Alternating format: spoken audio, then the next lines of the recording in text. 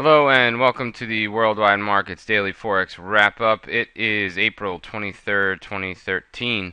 Uh, we're going to start with the Euro Dollar. Uh, Euro Dollar, as we talked about last week, was in a bit of a head and shoulders pattern. Uh, it is a little choppy, but uh, you see kind of the basic outline left shoulder, head, right shoulder, and then you know this kind of gradual line you know, is an abbreviated you know neckline, but you know it's kind of right around where we are now at at 130. Um, you know, I'd want to see us get below 129.70, and then we will resume our bearish bias here on the euro dollar. Uh, dollar seems to be, you know, pretty strong across the board, and you know we're, you know, we would maintain that on the euro. There's nothing that has really changed in Europe that's going to uh, change that uh, bias to the euro being strong. You know, we had a temporary uh, bounce based on just you know overall uh, market sentiment, but you know the overall trend is is still the same. You know, dollar should be strong here, and uh, we get below 29.70 in this little area of support that we see here, and you know, definitely be looking for shorter, you know, for short positions. Uh, for some reason, it, it bounces off the you know the 130 area, and you start seeing you know bounce back. You can you know, wait to see uh, you know wait to see where it goes, but I'd definitely be you know looking more towards the short side. Uh, gold, you know, gold seems to have bounced back a little bit, um, but if we kind of zoom out here and take a bigger picture, you know, if we look at where you know where it was and then the sudden decline and drop off, you know, we have a, a move back to this 23% uh, retracement level at 1423, and you know, we came back down, you know, back to 1410. I still think that we're going to get shorter, um, but pretty much anybody that was short and dumping positions and doing whatever, you're going to see a, a bounce and, and, and a pullback as you know profit taking. But you know, for the short run, you know, I definitely think that we're going to see we're going to get below 1300 before this thing resumes uh, some strength. The Aussie dollar, same story. Uh, once gold took a dive, so did the Aussie dollar.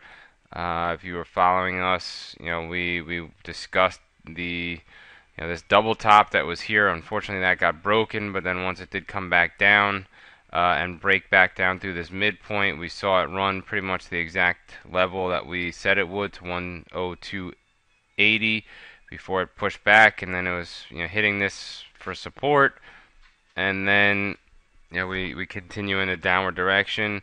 Um, you know Aussie and gold are pretty you know are very much tied together. So you know I think you'll see as gold dips, so will the Aussie, and you know once gold if gold gets back on track, then you know that will then push the Aussie back up. For, but for now, I'd be also uh, bearish on the Aussie dollar simply because you're getting dollar strength and, and Aussie weakness. Dollar yen, uh, we did get our run up to 100 pretty much, and then it pulled back, um, and now we're back up to 99.25. Um, you know, with the dollar strength, and there's no signs of, of any yen strength coming out of anywhere. I mean, you know, BOJ is still happy keeping a weak yen. Um, yeah, I don't see any reason why this is going to um, get slowed down. But you know, keep your eyes open when we get back to 100. You know, if if it stalls again, you know, at that level, then that's definitely something you want to keep your eye on to to try to go short. But if we do break through 100, you know, we could st still see this continue to uh, you know progress upwards. You know, we've been going up and up and up for the last. Um, let's see, for the last six months, you know, pretty much started here um, in October, and you know, it's it's been a climb straight up, and we've had certain pullbacks, but it's just continuing to go. Um, we do see a little bit of a double top here at, at 100, but you know, let's see let's see what happens. Um, Euro yen, you know, we seem to have built in a little bit of a ceiling at the 131 mark.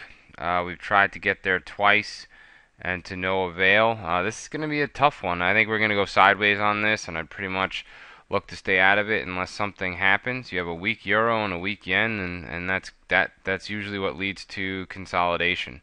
So we could have this, you know, go sideways into a, a symmet- symmetrical triangle pattern, and then you know we'll look for a breakout to see you know what would happen on on either pair. Uh, dollar CAD is also something that we've been tracking. Um, you know, we, we're in a kind of a downward trend. But we have been seeing some dollar strength, and we have been seeing some Canadian strength on on some recent moves uh, up for oil. So you know, if oil continues to move up, you know, you're definitely going to uh, you know get some Canadian strength, and that could push this back down. And if we look at a longer-term chart, you know, we do see you know lower highs that have been formed.